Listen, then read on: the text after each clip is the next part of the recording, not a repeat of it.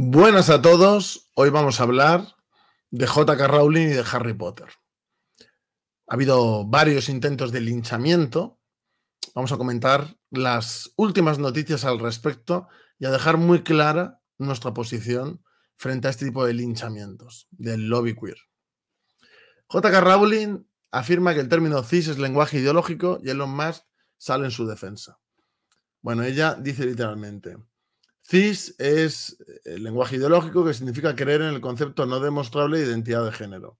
Decía la escritora que ya protagonizado antes declaraciones contrarias a los postulados por el lobby.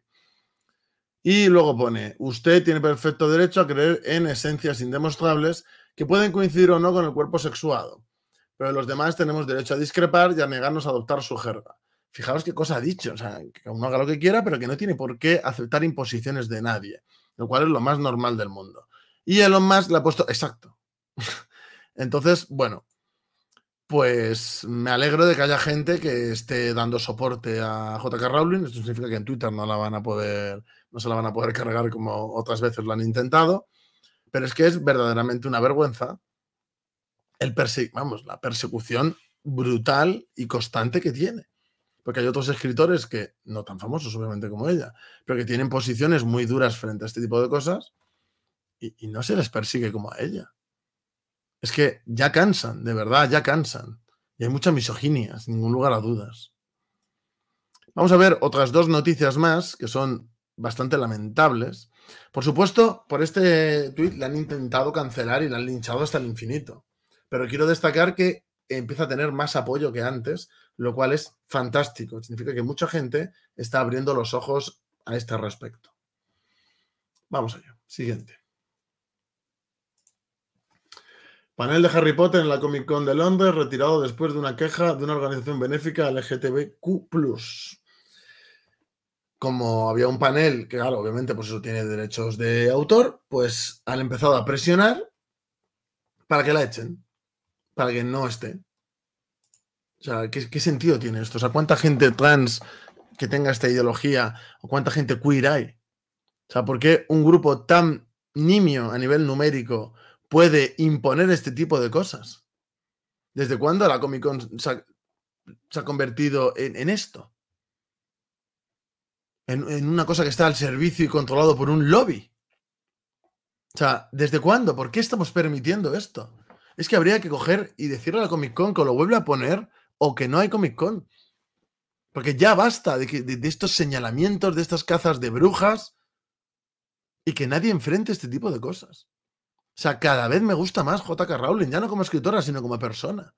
Porque es una persona valiente y que no se baja del burro con lo fácil que hubiera sido para ella callarse y no decir nada en ningún momento. Y ganar pasta y reconocimiento. Y está enfrentándose a esto porque ve que es su deber, que es necesario enfrentarse a esto. Es que esto es para mí, representa la barbarie. La barbarie. Hemos vuelto a las quemas de libros, estamos en un nivel de cancelación nunca visto antes de linchamiento. Estoy recordando cosas que han hecho, como cuando el ex marido le dejaron estar en un periódico en portada diciendo que la había pegado, pero que no se arrepentía, y sale en portada. ¿Alguien piensa que se, permitiría a nivel social que se lo hicieran a cualquier otra mujer que no, que no tuviera el tipo de posicionamientos que tiene JK Rowling? Es que es la hipocresía. La hipocresía del feminismo contemporáneo, o sea, que ha, llegado a, cotas impensables hace décadas. Tanto de oportunismo y de demagogia, como del carácter sistémico absoluto que tiene ahora.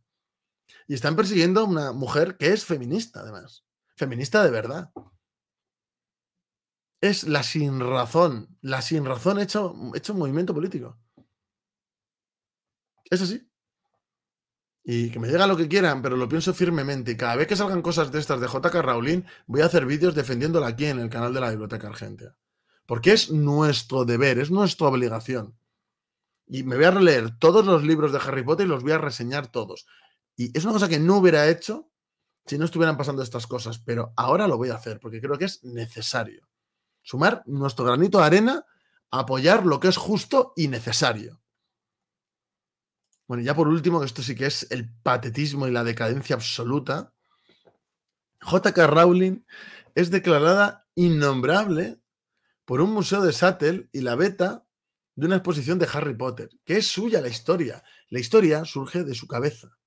Aquí más abajo se ponen a hablar que lamentablemente no pueden hacer, dice, nos encantaría seguir la teoría de Internet de que estos libros en realidad fueron escritos sin un autor. Pero qué locura es esta. ¿Cómo un museo que se supone que tiene que fomentar la cultura está diciendo que les encantaría seguir una teoría loca y que evidentemente es mentira de que esos libros no los ha, no los ha escrito J.K. Rowling? O sea, os, os des cuenta de la locura y la decadencia y la degeneración que tiene ese museo y nuestra sociedad en sí. Pero ¿cómo vas a eliminar el nombre y toda referencia en una exposición homenaje a una obra al autor de esa obra?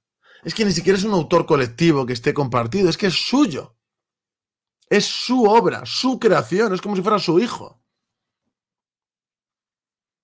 Y esta gente haciendo aquí caza de brujas. Dice, la radical postura transfóbica, ¿qué dice? ¿Qué dice? ¿Este periódico cuál es? El ABC. ¿Qué, ¿Qué, hace el ABC?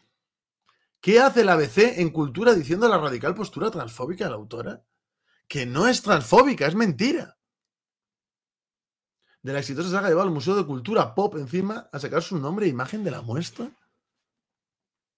Es de risa, de verdad. Bueno, sigo leyendo. Dice, no es una solución perfecta, esto lo dice el museo, ¿eh? pero es lo que pudimos hacer a corto plazo mientras determinamos las prácticas a largo plazo, expresó la dirección de la exposición en un texto publicado en el blog del museo en el que informa de su decisión de vetar a Rowling. O sea, hacen esto para hacer algo todavía peor cuando se les ocurra en el futuro. Pero es que, ¿qué sentido tiene esto? En todo caso, deberían de quitar a Harry Potter, porque no están de acuerdo con lo que sea, que me parece una aberración. Pero esto de quitar a la autora y dejar la obra, ¿pero qué piensa esta gente del museo? que la gente de a pie que ha leído a Harry Potter no sabe quién es J.K. Rowling. Es que aunque no pongas el nombre, va a ser el efecto eh, es que se va a ver más aún. La gente va a hablar más de ella todavía y en redes se va a petar.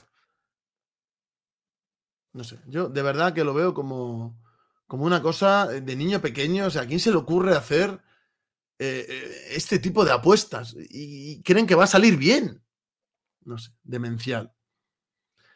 Mira, dice, nos encantaría seguir la teoría de Internet de que estos libros en realidad fueron escritos sin un autor, pero esta cierta persona es un poco demasiado expresiva. Ser expresiva es malo.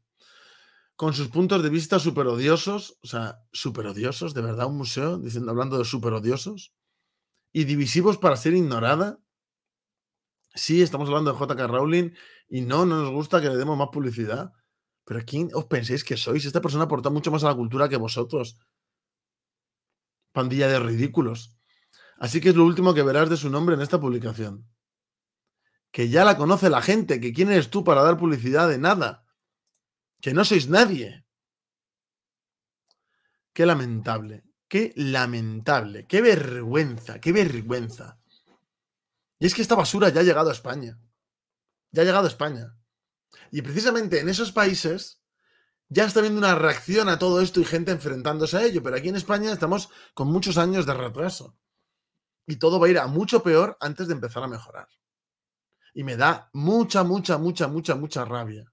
Pero mucha rabia. Hay tanta incultura, hay tanta manipulación.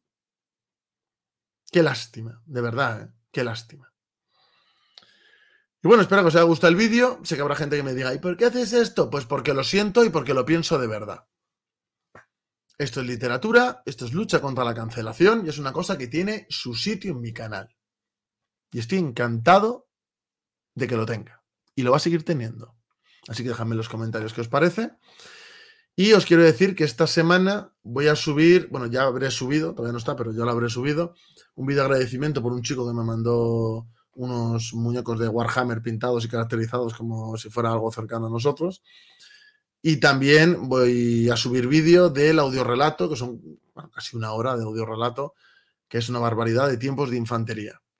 ¿Vale? Así que lo podéis ver esta semana y espero que le deis una oportunidad y os guste. Y hay un montón de audiorelatos subidos, tanto de historias de la cárcel, que es, bueno, como crítica social, como de mm, La Espada Argentia, que es fantasía, creo que hay como 14 capítulos ya subidos, Y hay dos, que este sería el tercero, el que os estoy diciendo, el tercero o el cuarto, no recuerdo ahora, de tiempos de infantería, que es ciencia ficción. Así que bueno, espero que os guste y que le deis una oportunidad. Muchas gracias y esta semana tenemos nuevos vídeos.